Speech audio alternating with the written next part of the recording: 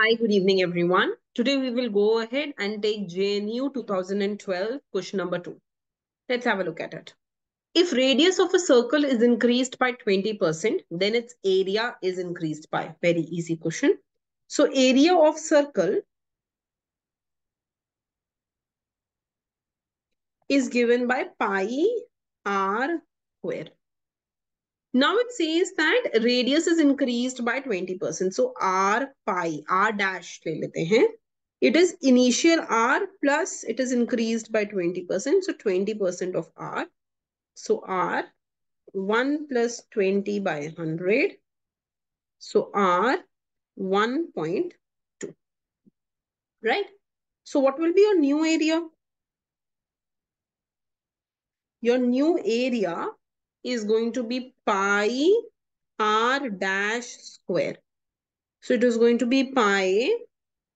The new r that you have is initial r into 1.2. So it is going to be 1.2 r whole square. So this is going to be pi 1.44 into r square.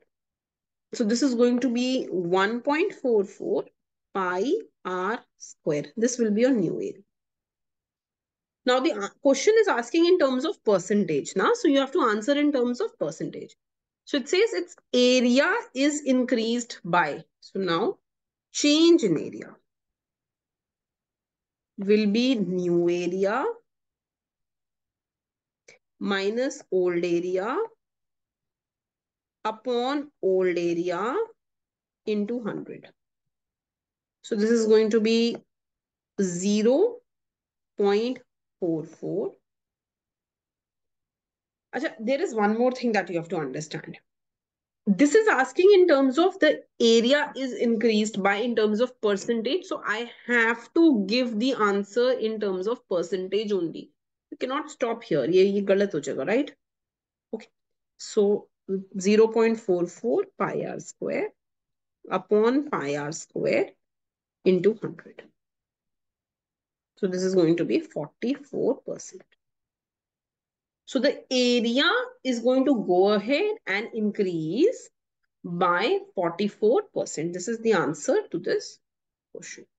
Now, I'm going to give you another question similar way. Just try to do this yourself. So for example, let's say that the question is very similar, but now they have said that if length and breadth either they say length and breadth or they go ahead and say that the so uh, actually it should be uh, length and breadth only. But supposedly they go ahead and use the the term the two radius of the ellipse are doubled.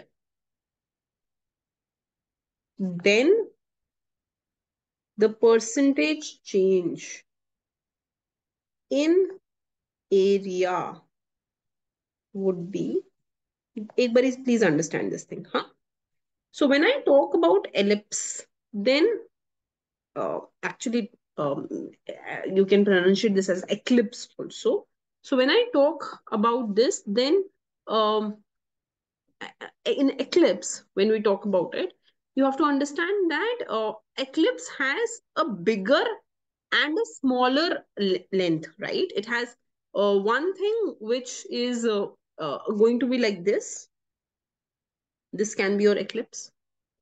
Or your eclipse can be like this so when i go ahead and i talk about the area of my eclipse then in that case the you have to find this out. I will not talk about what area of eclipse is. very similar to circle but the only thing that changes is that now you have so so this is the center of my ellipse or eclipse and uh, this is a or this is this is the center so i have a smaller r a smaller radius and a bigger radius or a, sm a smaller radius here and a bigger radius here so you can you can call this as A and B respectively, or you can call this as R1 and R2 respectively. There are two R's, right? One is the smaller radius that you have, and one is the larger radius that you have, right? There are two R's that you have. So R1, R2, R1, R2. I'm telling you that both of them are doubling themselves. If both of them double themselves, then how do you go ahead and how do you justify what is going to be the change in your percentage change in the area? That is what you have to tell me. Now, when it comes to exam, this is not it. In exam, sometimes they will tell you that there is increase in the radius, but they will ask you percentage change in circumference. So you should know that or they will ask you percentage change in perimeter. So, so my point here is that don't think that these are class 11, 12 concept or 10th, 9th concept and they will not come in exam. You have to understand the, uh, you have to know the formula for perimeter of each of the shape. You have to know the formula of circumference in this case, in case of circle. And then you have to try and think, okay, if one of the parameters change, how is my answer going to change? Okay. All right. Thank you.